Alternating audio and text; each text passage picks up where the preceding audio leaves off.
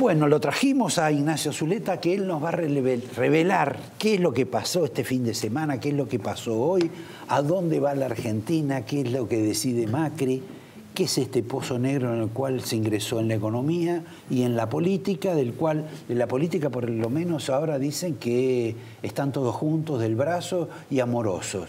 Cornejo con, con Carrió, Carrió con Mauricio, etcétera, etcétera. Mira, eh, hay, varios rounds y las preguntas son muy, muy, muy complejas. Las de la economía no las voy a contestar porque no tengo, no tengo ni, noción para responder qué pasa. Lo que sí creo que la música de esta crisis es una música política. Yo creo que no es para nada financiera ni económica. El gobierno en, la posición peronista encontró una, un misil para dinamitar al programa del gobierno en el talón de Aquiles, que es la deuda. Vos, desestabilizando la tesorería, obligando a que el subsidio sea mayor o que no se reduzca, que las tarifas, eh, se desbarate el, el, alza de las tarifas, lo que estás logrando es incomodar al gobierno cuando sale a pedir plata. Ahora, perdón. Eh, acá te dijo a Walter hace un rato que Caputo había sido ineficiente recaudador a Caputo, y te lo dice la gente del gobierno, le está costando conseguir plata. Porque ¿qué va a pasar en la Argentina? el riesgo creció. Te quiero hacer una pequeña enmienda. Eso que vos decís posiblemente sea cierto si tomamos lo que ha pasado en la Argentina en los últimos 10 días. Podemos incluir lo que hizo el radicalismo y lo que hizo Carrió, que dinamitaron muchísimo más la política tarifaria del gobierno. Mucho más de lo que se sabe. Bueno, ahora me contás lo que, lo, que necesitamos saber, pero te comento, y que también esto en alguna medida lo deslizó Walter, que el tema de la dificultad de haberle cerrado el crédito a la Argentina, de no darle más plata, no tiene casi nada que ver con el tema tarifario y es previo a todo esto. Ya cuando fueron a la reunión esta del fondo este, con la señora Lagarde, que fue Duhovne, que fue el, segundo de, Duhovne y que fue Caputo, ahí ya les dijeron no hay más plata para la Argentina. Y por alguna razón Caputo hace mucho tiempo ya se anticipó a pedir plata prestada sin necesitarla todavía el presupuesto. Este, pero bueno. Eh, coincido en la observación, yo supe de esas dificultades bastante antes, eh, me la comentaron el gobierno antes de que empezara el tema de las tarifas. lo que pasa es que lo de las tarifas dispara la descalificación de la Argentina como tomador de deuda. O sea, con este, con este cañonazo que le van a dar en la, en, la nueva ley y el costo que va a pagar el gobierno para... ¿Pero va a haber una ley? Yo creo que ley va a haber y quizás se mete.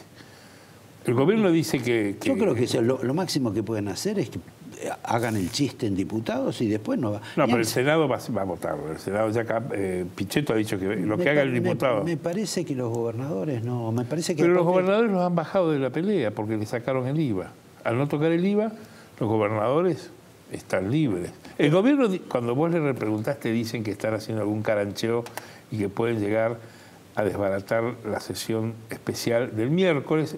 En la segunda, en la primera se va a tratar unas leyes que ya están acordadas la segunda va Bueno, hay una ley muy importante, le van, a, le van a aprobar, porque están jorobando con el tema de las tarifas, pero le van a aprobar la ley de mercado de capitales, que es fundamental, para este gobierno para ver si hay alguien que se olvida un dólar en la puerta de la Casa Rosada. Exacto.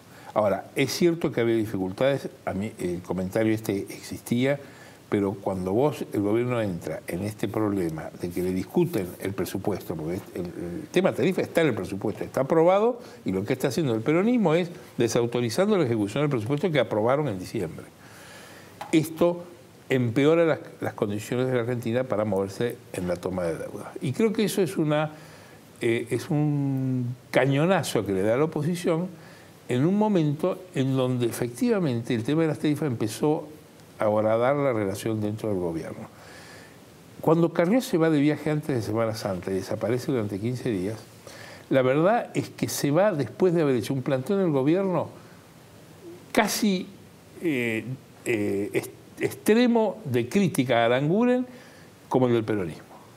Esto es intolerable, esto no se puede hacer, recorro el país, eh, la gente me viene con la boleta, etc. Después vino lo de Cornejo, que es más moderado. Y Carrió, que es prudente, haciendo política nunca se equivoca, dejó pasar 15 días sin aparecer. Es cierto que la impugnación a Aranguren del radicalismo es fuertísima. En diciembre, cuando le mandan la famosa carta, primer gesto de Cornejo como presidente es la carta para frenar la venta de Transanar. De lo cual me parece que están arrepentidos. me parece que están arrepentidos, ¿eh? Yo, no, yo, yo, los veo muy beligerantes y eso no se ha cerrado. No sé, vos... El, eh, Aranguren le dijo que eran unos burros, los descalificó. Sí, el que tiene comunión diaria con los diarios, que tiene que resolver esas cuestiones, yo estoy mucho más, soy mucho más hebdomadario. Yo también. Este, Somos hombres de fin de semana. Este, te diría que tratas de averiguar algo de eso. ¿eh? Me parece que algo... En su momento han todos preferido olvidarse. Esa pelea ha quedado abierta, el trámite de venta de las acciones sigue pero la, la pereza fue durísima. Aranguren los descalificó, le hizo una carta de o respuesta. O sea que fue otro error del radicalismo también. Yo creo que acá hay una cosa que dijo Ernesto Sanz hace un año y que sigue válida. Va a llegar un momento en el cual vamos a discutir poder dentro de Cambiemos. Y esto ocurre un año y medio antes de las elecciones. Porque el radicalismo, aliado del gobierno, y los peronistas que están dentro del gobierno, en el caso de Monzó, advierten que el tiempo pasa, empiezan las dificultades, su presencia en la alianza los expone a críticas del público y les sirven el café sin azúcar, no los llaman cuando, eh, cuando empieza el baile y les dice que se vayan, los fines de semana no van a los abrojos. Entonces dicen, ¿por qué me tengo que comer? Por ejemplo, diría Monzó, todos los bifes y no me dan nada. Y miren lo que están haciendo. Tengo que salir a explicar cosas con las que yo no estoy de acuerdo. Si lo extremás, es Chacho Álvarez, año 2000. Es decir, si esto se va al diablo, yo voy a estar acá. Si no me dejan que yo Pero Chacho Álvarez no se fue por esa razón. Chacho Álvarez quiso hacerle un golpe a Fernando de la Rúa, que es una cuestión totalmente distinta. O te olvidás que el señor se puso a convocar a las multitudes con su esposa en un costado y con el juez de Moñito diciéndole que era un héroe nacional. Y fueron dos personas a saludarlo. Sí, esa es, una, eh, es una explicación. Yo creo también que él temía que eso se iba al diablo y no quería estar ahí. Y que hizo todo lo posible para no estar. Pero en fin, son como dicen los, las, contrafácticas de Rosendo Fraga. que Rosendo Fraga. Ahora, yo creo que hay, existe eso. Y, los radicales, por ejemplo, hoy suspendieron la cumbre de Córdoba. No vamos a aparecer ante el público hablando de elecciones y cuando el país se incendia con las tarifas. Se dedicaron una hora y media a hablar de las elecciones. La reunión de Córdoba se hizo en Buenos Aires, a hablar de la interna en cada provincia y volvió el planteo radical sobre los distritos, quién va a ser candidato en Entre Ríos, quién va a ser candidato en Misiones, quién va a ser candidato en La Rioja, quién va a ser candidato en Córdoba. El radicalismo volvió a plantear ese tema que al gobierno nacional no le gusta nada porque todos... a pesar de que vaya Mario Negri. No, Mario Negri es uno de los fogoneros de esa posición. Eh, Mario Negri quiere saber, dígame, ¿ustedes van a jugar con Esquialita y de la Sota o con nosotros? Dígamelo ya porque yo tengo que renovar la banca, dice. Y tiene razón. pero naturalmente. Pero aparte, él que es quizá el emblema del radicalismo más pegado a Mauricio Macri y a quien Mauricio Macri más prodiga, digamos, en el Por eso, por eso lo llama Marito. Por eso está en condiciones de pedir. Por eso pide. No, no, no es Monzó que pide de afuera, con la llave contra el vidrio. No, él pide desde adentro. Y eso que tiene carné Monzó, porque de afiliado. ¿Qué ocurre? Los aliados de Cambiemos, llámese Carrió, llámese la Unión Cívica Radical, saben muy bien que el mejor negocio de Macri es convivir con el peronismo de, 15 provincias. ¿Por qué se va a ir a pelear? No tiene sentido. Tenemos que gobernar. La Argentina se divide en dos. Los que gobiernan y los que no gobiernan. Y ese mundo donde está el oficialismo nacional y las provincias peronistas son los tipos que gobiernan. Eso significa Pichetto, Bocio, Cosina, etcétera. Eso el gobierno lo tiene en revisión de acá al año que viene. Los aliados están preguntando, el grupo de Carrió no es tanto porque en realidad no es una fuerza territorial importante, pero el radicalismo está preguntando qué van a hacer. Nos están mandando a una interna en Córdoba, provincia donde no hay paso, es interna voluntaria de los partidos, entre, entre Negri, Baldassi y Mestre y no nos dicen si a ustedes no les conviene que gane de la, Sota y Schiaretti y nos regalen el voto peronista de Córdoba para Macri, que fue como fue Macri presidente en el 2015. Ah. O sea, ese problema es un problema que está abierto. ¿Algo de eso se pudo haber hablado hoy en la reunión en, Casa Rosada? Te diría que se habló de esto más que de otra cosa. El resto, yo, hablé con son, son, unos irresponsables. Yo hablé con tres personas. Las tres me contaron lo mismo. Me dijeron, y de distintos partidos, coaching del presidente, lo vi muy bien al presidente, qué bien que está, muy convencido, el cambio cultural, que tenemos que ir para adelante, mostrar unidad. ¿Y por qué? Porque hay, algo, hay algo que está, hay algún problema ahí adentro. Alguien no cree en el cambio cultural, alguien no cree que tenemos que ir todos juntos.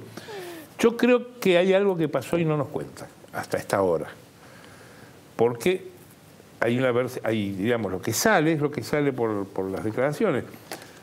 No, no, justificaba un encuentro decir que el modelo. Es decir, están están repitiendo, ¿te acordás el, lema de Menem? Menem ratificó el rumbo. Macri ratificó. ¿Alguien pensó que el rumbo cambiaba? Pero perdón, Ignacio, no nos olvidemos que la semana pasada la señora Carrot tuvo que aterrizar en la casa de gobierno con su equipo económico, que nadie sabe quién es, este, pero en fin, no vamos a poner en, dudas esos valores, para decir que no compren dólares a la población que es como que si Pugliese te dijera no me respondan con, el bolsillo, eh, y que estaba absolutamente desesperada por la situación de la corrida. La corrida todavía está hoy. Así que, que en algún sentido el, problema que tienen los radicales es que pueden perder puestos. Yo te diría que hoy es eso que estamos viendo nosotros, el gobierno no lo ve así. El gobierno ve otra cosa. El gobierno ve el resultado de los focus group, donde dicen que Mauricio, Mauricio contra Cristina y en el balotaje gana Cristina. Y si no ganamos, y si el balotaje se ¿Cómo en el balotaje gana Cristina? Perdón, Macri, ah. gana Macri. Massa no existe. ¿Cómo te pusiste? Este, el balotaje le ganamos por muerte. Y si no hay balotaje, hasta le podemos ganar en primera vuelta. Y si el balotaje se complica, la ponemos a Vidal de vice y, y Carrió de senadora y hacemos la elección del 60%. Ellos creen... Pero eso cambió en la última semana. Ellos dicen que las encuestas y las 11 encuestas que hay dicen eso, baja el gobierno y baja Macri y nadie sube. Eso es cierto, pero baja también Vidal. y está bajando bastante. Pero en la ecuación, que no te olvides que son políticos, o sea, son equilibristas en red, son fatalistas, son cabuleros, jugadores, han abandonado la vida normal, han dejado las vidas que tenemos todos nosotros para dedicarse cuatro o seis años a vivir en una burbuja. Estás hablando de radicales y peronistas. Eso no ocurre con la gente del PRO. No ocurre no? Con no, empezando por Macri. No, señor. Por favor. Por algo el poder les da algo más que el celular pago y la secretaria. No. Estar en esa burbuja, en esa fascinación. Ah, la burbuja sí. Estar pero al no borde cambia, del abismo. No cambia la vida, por favor. Estaba en el medio de la corrida y se fue a jugar la Copa Amistad. Por no eso, cambia la vida. No les importa. Porque a los políticos no les importa. Es, lo que ha sido toda la vida y lo mismo son los otros. Roberto, yo quiero decir lo siguiente. Nosotros vemos la corrida y ellos ven el escenario electoral que probablemente y seguramente va a ser que Macri relija y Vidal relija y la reta relija. Ellos ven eso, ocurra o no ocurra, no les importa el resto. Pero ¿qué te importa a vos si estamos hablando de política? Si nos vamos al focus group, Massa no aparece, Macri está arriba de todo, contra Cristina, y en el balotaje le ganamos a Cristina, y en una de esas le hacemos pelo barba en primera vuelta. Eso piensan ellos. No se van a poner a pensar en la corrida. Eso para nosotros, que para nosotros es, nuestra riqueza y nuestra pobreza. Pero la política tiene eso, si no, no se dedicarían a la política. Ahora, ese escenario que ellos miran es un escenario que expresa también el humor social. Por ejemplo, ¿quién ha llamado a no pagar las tarifas? Nadie. Si todos dijeron que había que revisar las, las tarifas y mejorarlas, lo firmaron todos. Pero ellos dicen, gordo, no te preocupes, ¿vos has visto que alguien deje de pagar la luz y el gas? Hasta ahora es cierto eso. Entonces, ¿qué problema te hace? No, pero mirá que... El ellos se lo hacen con la bataola, se pero lo hacen mirá que el bolsillo no da. pero ha salido algún dirigente, Zamora, este, qué sé yo, este, el Partido Obrero, a decir no paguemos las tarifas, como ocurrió en otras épocas, rebelión fiscal. Todavía no. Es decir, la sociedad tiene un margen de tolerancia que todavía, hoy lo acaba de decir eh, el ingeniero Herold que vos invitaste, hay cuatro millones de personas a las cuales que son los más pobres, que es el voto peronista, si querés, para decir una simplificación de clase, que dice que la tarifa de, la energía no le cuesta demasiado. Eh, ¿Podemos saltar un poquito y brevemente al peronismo? Saltemos, ¿Eh? saltemos. como los políticos saltan. Massa reaparece con la crisis. Esto es, después de la humedad empieza el brote masa, ¿o no? Hay una y hasta reaparece con la baña. Bueno, la baña es de masa. Por eso. Eh, la baña padre. La baña padre y la baña hijo. Sí, sí, claro. Que cuidado con la baña hijo. Es, un. no digo un peso pesado, pero es un tipo que le da una. La baña hijo es lo que fue Pratgay para Carrió en el Congreso. Le da una seriedad y una espesura al debate económico que todo el mundo se queda. bueno, contame de masa. Massa. Massa aparece porque en, la, imaginación de Pichetto, que es el CEO del, peronismo, tiene que haber un paso entre dirigentes que se anoten en octubre de este año. Y los que están para anotarse son Urtubey, Massa y alguno más. ¿De la Y esa es la duda. Bueno, sigamos con Massa. Eh, Massa aparece Massa ha comenzado a hacer cursos de dicción, está haciendo coaching, está tratando de quebrar esa imagen que dan los focus group de Durán Barba de que no es confiable, empieza a hacer caminatas porque quiere estar en esa... Y, de hecho, en las encuestas que se hacen de, imagen, sigue apareciendo, es el peronista que, no cristinista que más aparece. ¿Qué ves en esa operación de la señora Cristina? de nominar como posible candidato a Felipe Solá en lugar de Rossi? Ahí hay dos doctrinas. Una que dice que Cristina no se va a presentar. Es la doctrina este, Randazo, Massa. Y los otros que juran que están al lado de ella y dicen que va a ser presidente. Y, y que Solá sería su vice.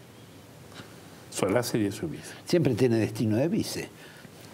Bueno, pero Solá, Solá es un, eh, como dice una común amiga que es eh, Graciela Camaño, como Cristina son jarrones chinos. ¿Dónde los ponemos? ¿Te acuerdas la anécdota que vos has escrito de los jarrones chinos de Felipe González? O sea, los políticos veteranos son valiosos, frágiles, grandes e incómodos y no hay dónde ponerlos. Graciela Cabello dice, el problema es que Cristina y Felipe son dos jalones chicos, ¿dónde los ponemos? Además vos sabés que Felipe está en un proceso de purificación interior muy importante que es escribir su memoria. Ah, mira vos. Y cuando escribe su memoria se descubre quién es él, el que trajo la soja transgénica, el que eliminó la aftosa, el ministro de, de Menem o el hombre de Narváez. El ministro de Caballo, no de Menem. Y el ministro de Caballo. O el insurgente. El otro día lo escuché en la Feria del Libro, la presentación del libro sobre Lula, era el Che Guevara depilado. Ah, yo lo conocí cuando era secretario de Jorge Vázquez. Y ahí era otra época, otro periodo. El insurgente. Y además la gente tenía eh, portación metálica. Así que, hablando de portación metálica y pregunta final, ¿qué es esto de Rodríguez A llevando a su equipo de Shadow Cabinet a Vaca Narvaja. ¿Quiere quedar bien con Cristina también? Ahí hay un, cruzamiento que hay que explicar todavía. Cuando se hace la cumbre de San Luis de la Pedrera... Hacelo rápido. Esa cumbre la organiza Capitanich, con Cristina y con Rodríguez Todo el mundo esperaba que hubiera un eh, florecimiento del cristinismo ahí. Y realmente Rodríguez se quedó con todo, con las fotos, con la imagen. Con bueno, era el dueño de casa. Sí, pero no, era, no lo habían llamado para Bueno, pero si pone, la, si pone, la, plata... Pero él está prestado. él está prestado. ¿Te parece? Bueno. creo que va a, tener, a ser el cuarto candidato en esa interna, en esa paso. Randazo, Massa, Urtubey, Rodríguez El club del 2%. Contra el peronismo de Cristina.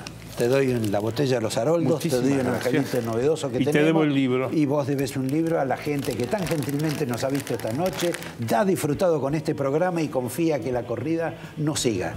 Nos vemos el lunes próximo. Gracias Ignacio. Gracias, Gracias a, vos Roberto por el invitación.